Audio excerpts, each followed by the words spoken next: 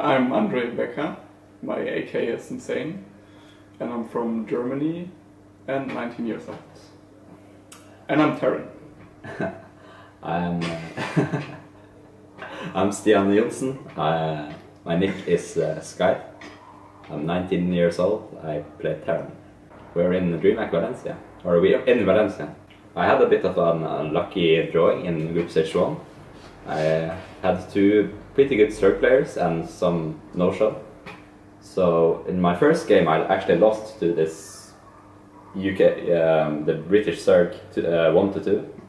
And I had to play uh, one of my friends who I traveled with in the deciders match. So one of us was, had to go out in the group stage 1, which kind of sucked.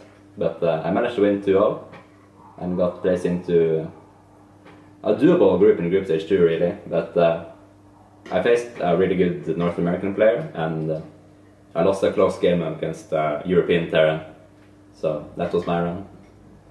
Yeah, my first group stage was probably the easiest one I could have gotten because I got like not high skill players. So the second group stage was pretty pretty easy to get. And in the second group stage, I got uh, Lambo, another German player, and Neeb, one of the best players at, uh, in the world at the moment. So I was kind of like shaky, but uh, then I beat Lambo, and I was quite happy with my performance. After second group stage, I got out as second, and then I got a really tough opponent, uh, Major, the Terran, and yeah, he just beat me 3-0. So I got into top 32. Quite happy with my performance. I got into I only got into the second group stage and I got in last place in my group, uh, losing. Uh, I lost 2-0 to uh, Puck from uh, North America and I lost 1-2 versus Botvinnik, which I went up in the series and now I started getting really shaky and nervous and uh, yeah, just a lack of tournament experience really. You're used to sitting at home and playing on your usual setup. So when you're suddenly like sitting next to a lot of people you don't know and like it's not your own setup and a bit different and it's like a tournament. It, we don't play a lot of off offline tournaments, so you want to perform good and you put pressure on yourself and yeah, the pressure got to me. If you have an, uh, a lot of experience, you don't uh, pressure yourself as much, in my opinion.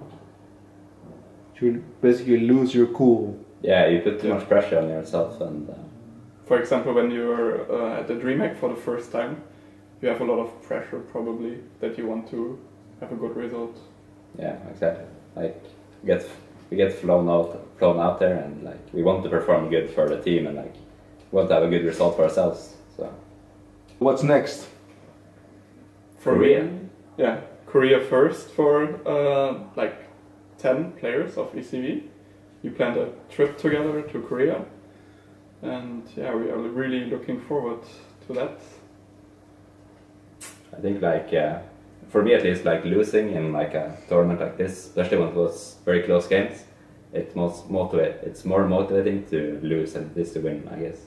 Because you want to improve even more and beat the player next time. So like having like having this trip after DreamHack, like I, I really want to just go at home and play right now. So Yeah, it will be pretty good, I think. Uh, yeah, shout out to our sponsors G2A and Trust Gaming, Hyperact. Zoe and Targus. See you soon, guys. See you soon.